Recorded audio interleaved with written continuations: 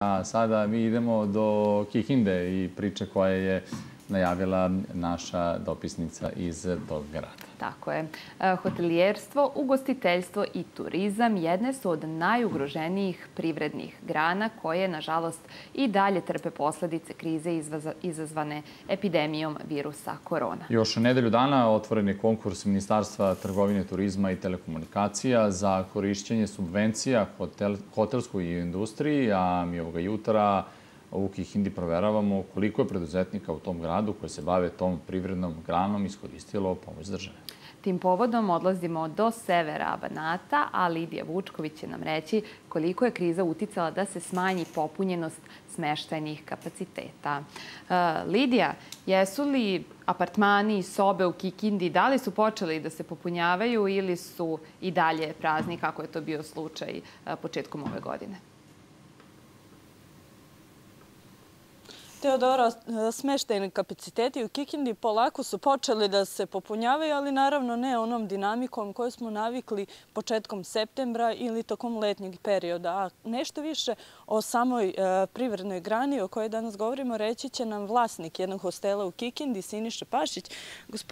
Gospodine Pašiću, definitivno ste jedna od najugroženijih privrednih grana. E, evo da kažemo, pomoć države nije vas e, obuhvatila budući da ste vlasnik hostela u Kikindi i nema hotela zapravo, ali ste primili minimalac kao pomoć. Koliko je ona zapravo značila vama kao ugostitelju?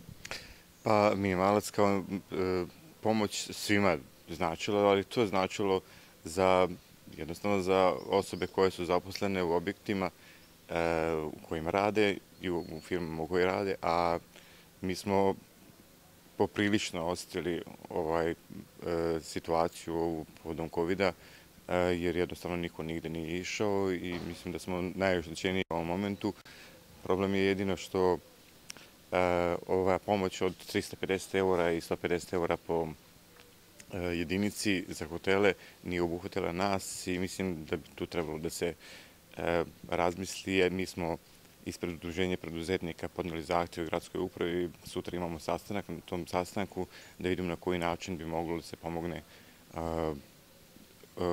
objektima koji su koji primaju smeštanje, koji imaju smeštanje kapacitete za prenoćište, a nisu hoteli. Šta je ono što ćete vi tražiti na tom sastanku? Kakva su realna rešenja za ovaj problem?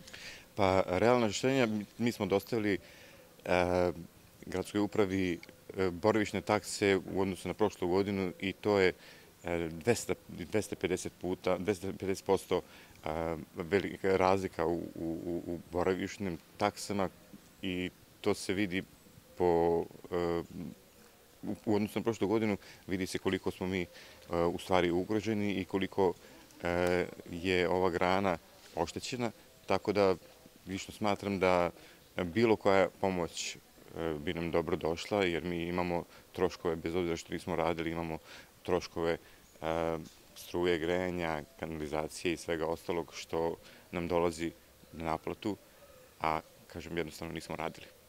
Kakva je sada situacija? Niste radili, ipak nešto se polako menja, je li tako? Da, nešto se polako menja. E, dolaze gosti, dolaze firme na noćenje, ima nekog pomaka, ali to nije ni blizu kao što bi trebalo da bude. Kažite nam još da li je ova kriza uticala na cene smeštaja? Ne, kriza nije uticala. Mi svi imamo, koliko znam, koliko sam upoznat, svi imamo iste cene. Ja ih imam već deset godina koliko radim, nisam menjao cene, tako da jednostavno svi čekamo to neko bolje vreme. Kada vi, da li možete uopšte da procenite kada može ova grana privrede da se oporavi? Evo, konkretno, vi ste vlasnik jednog privatnog objekta. Kada možete da očekujete neki oporavak? Kako vam se čini? Pa, da vam kažem nešto, dolazi zima. Grena sezona, troškovi će biti veći. E, znači, jedino na proleće i sljedeće leto koje bude došlo, tad bi mogli trebalo, ili trebalo da ostavimo ukoliko se ovaj, ova pandemija ne bude produžila. Hvala vam mnogo, gospodine Pašiću. Evo, kao što ste čuli, mnogo je problema. Ugostitelji su i tekako ugroženi kao kategorije, hotelijeri također. Mi ćemo dodati da Kikinda već godinama unazad nema hotel. Znači, nije bilo tog objekta koji je mogao da iskoristi pomoć države od 350 evra po krevetu, odnosno 150 evra po smeštajnoj jedinici. Dakle, u Kikindi imamo 38 vlasnika malih smeštajnih objekata koji su također ugroženi. Nadamo se da ćemo u nekom narednom periodu izveštavati izveštavati o boljoj situaciji, odnosno da će pandemija e, konačno prestati i da će sobe početi da se popunjavaju turistima u Kikindi. Toliko za ovo uključenje. Hvala ti, Lidija. I mi se nadamo da će situacija biti e, bolja za kikinske hotelijere.